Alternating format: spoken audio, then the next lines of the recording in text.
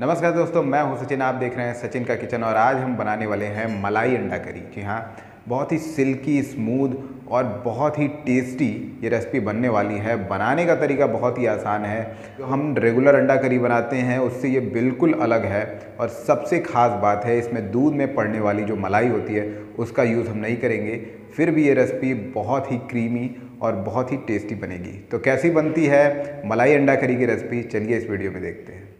तो ये हमारी मलाई अंडा करी, इसकी खुशबू, इसका टेक्सचर आपको बहुत ही बढ़िया लगने वाला है, ये देखिए इसकी ग्रेवी तो इसे बनाने के लिए सबसे पहले थोड़ी सी हल्दी और धनिया पाउडर को हम एक साथ मिक्स करके रख लेंगे। ये हमारा सिंपल सा मसाला है।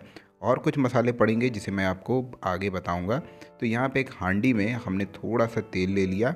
और इसमें हम अंडे को फ्राई करेंगे, यानी कि अंडे को हम सेलो फ्राई करेंगे। तो तेल को फैला लिया और उसके बाद अंडों में थोड़ा सा चीरा लगा के बस ऐसे ही हम अंडों को फ्राई कर लेंगे।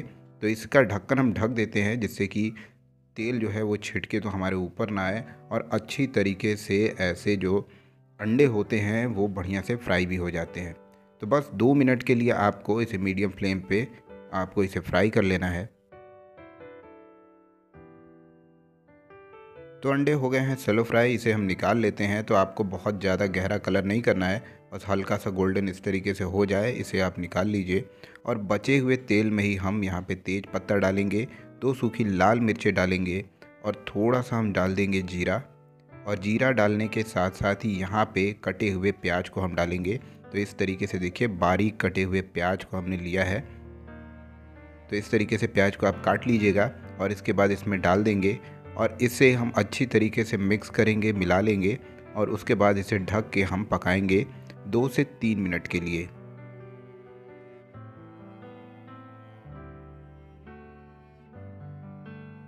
तो हमने इसे अच्छे से मिक्स कर लिया है अब इसे ढक देते हैं। तो तीन मिनट तक इसे ढक दीजिए और उसके बाद आप देख रहे हैं, यहाँ पे ये हल्का सा सुनहरा होने लगा है।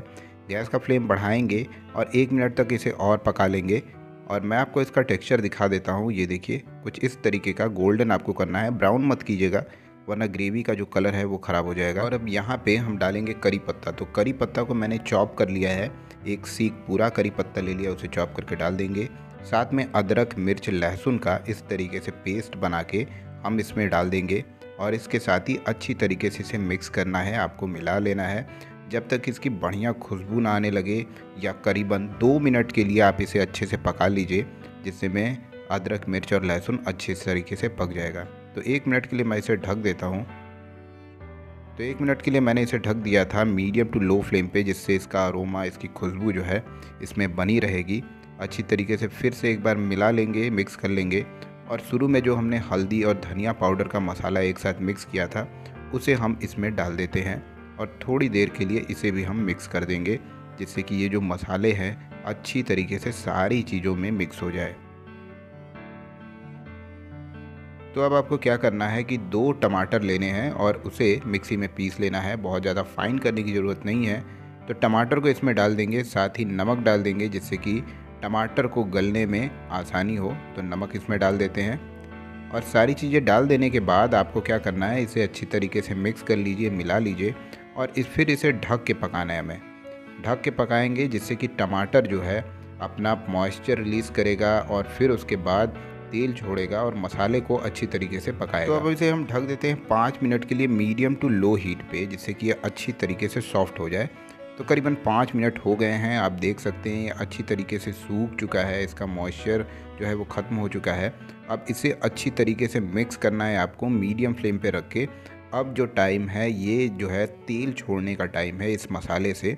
तो आप इसे बस लगातार चलाते रहिए और इसे हमें तब तक इस तरीके से चलाना है जब तक तेल अलग ना हो जाए। तो आप देख सकते हैं इसके तेल अलग होने लगा है।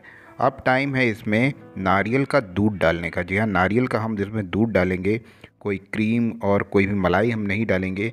नारियल के दूध से बहुत ही बढ़िया टेक्सचर आता है और बढ़िया एक मिठास इसमें आती है, बहुत ही बढ़िया टेक्सचर हो जाता है तो आप इसका यूज़ कीजिए इस रेसिपी को बनाने के लिए। तो यहाँ पे ये जो ग्रेवी है, अभी गाढ़ी लग रही है तो हम इसमें क्या करेंगे कि पानी डालेंगे। तो आधा ग्लास मैंने यहाँ पे पानी डाल दिया है, और पानी डालने के बाद एक बार अच्छे से मिक्स कर लीजिए आप। और इसमें अब उबाल आएगा तो अब हम इसमें अंडा को डालेंगे। जो हमने अंडे को फ्राई किया था, उसे हम डालेंगे तो उबाल आने देते हैं। अब यहाँ पर हम अंडे को डाल देंगे। और डालने के बाद इसे एक बार अच्छे से मिक्स कर लीजिए। एक चीज़ मैं और बता दूँ कि जिस रेसिपी में नारियल का दूध पड़ता है तो रेसिपी थोड़ी गाढ़ी हो जाती है बनने के बाद तो पानी आप अपने हिसाब से भी एडजस्ट कर सकते हैं। अब रेसिपी में टाइम हो गया है थोड़े से गर्म मसाला डालने का। गरम मसाला डाल देंगे, इसे एक बार अच्छी तरीके से मिक्स करेंगे और इसकी बहुत ही बढ़िया खुशबू आ रही है रेसिपी की बहुत ही बढ़िया खुशबू आ रही है। तो गरम मसाला डालने के बाद एक मिनट तक इसमें और उबाल आने देंगे कुछ इस तरीके से। फिर एक बार अच्छी तरीके से मिक्स करिए, इसे मिला लीजिए। और बस अब टाइम है इसमें कटा हुआ बारीक हरा धनिया डालने का और रेसिपी हमारी बन के बिल्कुल तैयार है। तो धनिया डाल देते हैं रेसिपी को फिनिश करते हैं, गैस को कर देते हैं बंद और ये हमारी मलाई अंडा करी बन के बिल्कुल तैयार है। बहुत ही टेस्टी बहुत ही हेल्दी और नई रेसिपी है। आप इसे ज़रूर ट्राई कीजिएगा एक बार और मुझे कमेंट में ज़रूर बताइएगा रेसिपी आपको कैसी लगी।